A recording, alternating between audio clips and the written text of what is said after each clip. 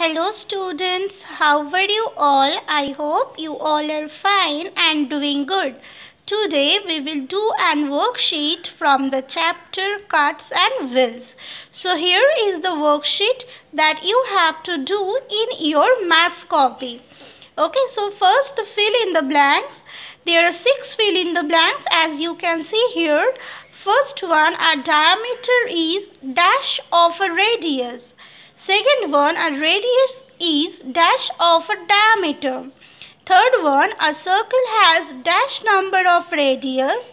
Fourth one, diameter equals to dash into radius. And fifth number, radius equals to diameter divided by dash.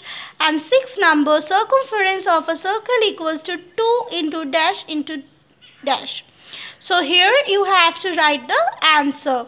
Don't forget to write the full statement in your maths copy. If you write the full statement, it will be easy for you when you will practice those sums during your exam. And the second one is find diameter of a circle if radius is 12 centimeter, radius is 16 centimeter. So here radius is given, you have to find out diameter. Just by using formula, you can easily do it.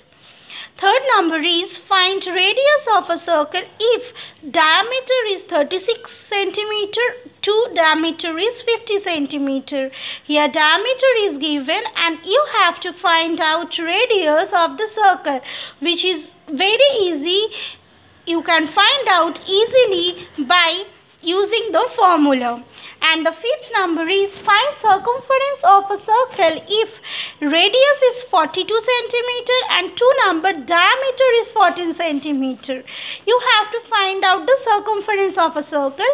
In the first one radius is given but in the second one diameter is given. So I want to see how you do this sum where diameter is given and you have to find the circumference but I am pretty sure that you will do all the sums by yourself only without taking any help from your parents or anyone else. Okay, so till then practice these sums, do it in your maths copy. Stay good, stay happy. Thank you.